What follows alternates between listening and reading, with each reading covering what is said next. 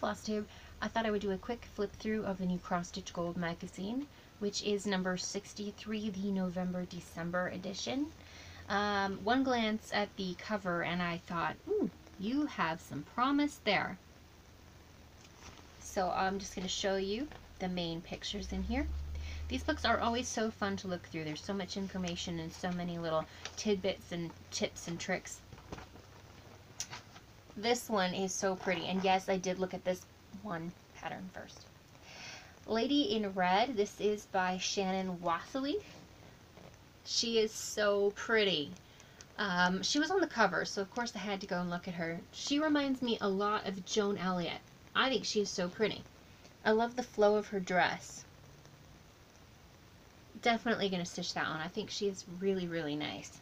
Um, my mom tried so hard to get me to look through this magazine, and I said, no, I don't want to look through it. I want it to be a surprise. So, there's also, um, of course, there's order forms for the Cross Stitch Crazy magazines and things like that.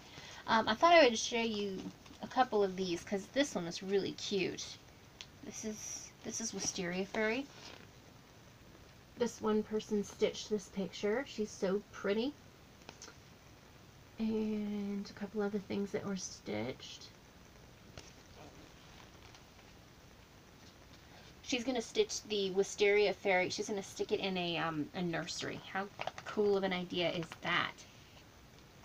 Oh, and here is an insert for the Queen and Prince Philip's 70th wedding anniversary bookmark. Well, that's fun. It's a free little insert with a, a bookmark pattern. There is the Shades of the Season by Amanda Gregory. This is the cover picture, the poinsettia pillow. That's really, really pretty and elegant.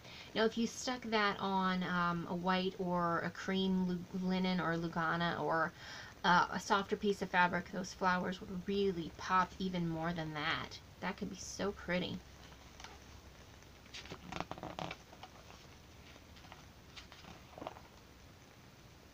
Those are fun. I wonder what those are. Oh, those are Creative Poppy designs. Okay, Creative Poppy. I think most of us know what Creative Poppy is. These are just some little ornaments that they're showing you which are Creative Poppy patterns that you can go get. Some of those are really sweet. They kind of remind me of a Frosted Pumpkin slash something else. Here is another pattern. Oh, this one's interesting. This is called Step Back in Time with Maria Diaz. That one's interesting. I don't know that I would ever stitch that one for myself, but I think that's nice. That's nice.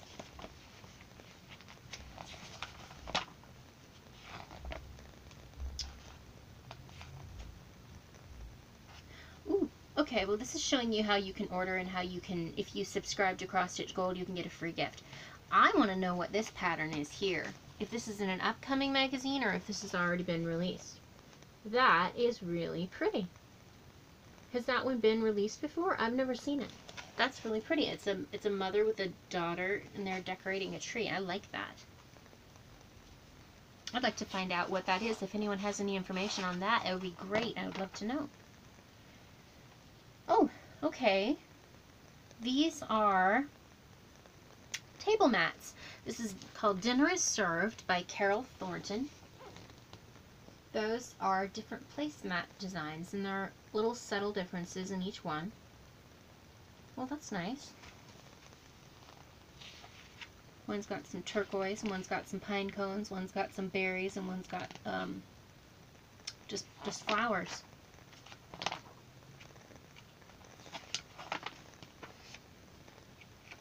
I love the Ask the Experts, the questions and answers sections of these magazines. They can be so informative.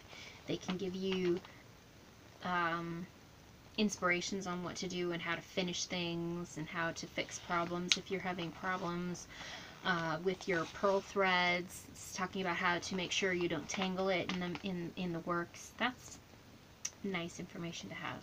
This is really cute. These are called Rockin' Robins. These are from Doreen Jones. These are really cute. These are for like gift tags for gifts. How fun are those? You could also make those into little ornaments too. Those would not just work for name tags. How cute would those be in ornaments? Super cute. Four, six, eight little different designs.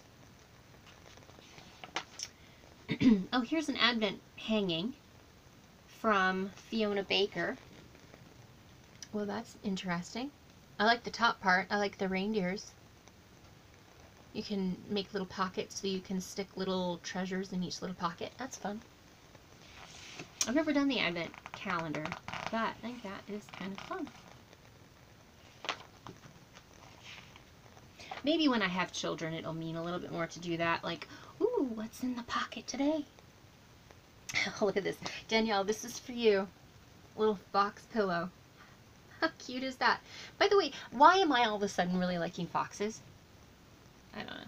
It's just, maybe it's um, those I'm exposed to. Oh yes, and a biscornu. I would love to make a biscornu. This shows you some tips and tricks on how to make a biscornu. I'm looking for the um, my favorite pattern of a biscornu, and I really want to do that.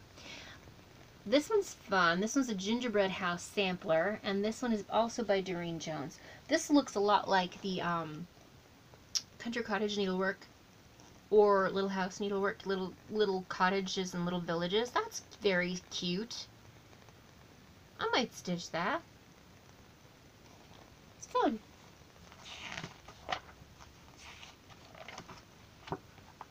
I think I skipped a couple pages.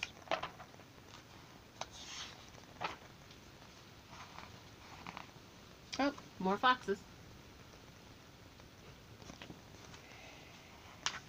And, oh, and look at that. Totally missed that.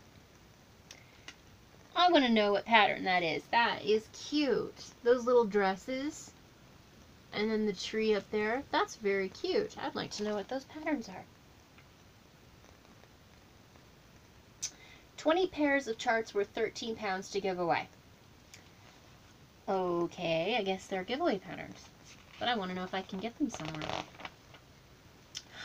Oh, yeah. Here are the upcoming um, patterns in the next Cross Stitch magazine. The next, the next issue. You've got Snow People. You've got little kids outside of a toy shop. I'm not sure what that is from this distance. And then on this side, look at her. Oh, I want her. I like her a lot. I always wanted to be a ballerina when I was younger, and then a figure skater. One right after the next. Um, I really like her. She's really pretty. And a bunny getting snowed on. And a reindeer. The reindeer's nice. That's fun.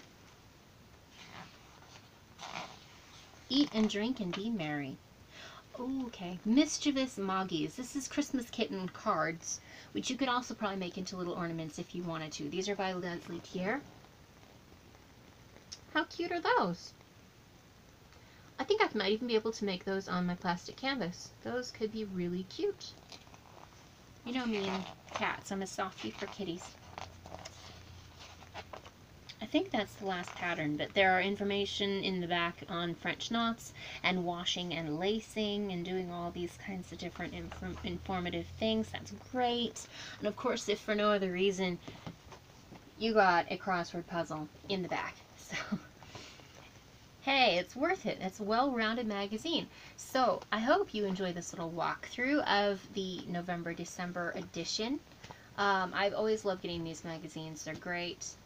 I always like to just sit down with one and just kind of read through all the different pages. There's there's so much in them. And it says over 600 hours of cross-stitch projects, of Xmas projects in this book. So anyway, hope you enjoyed the D walkthrough. And until I see you next time, ciao for now.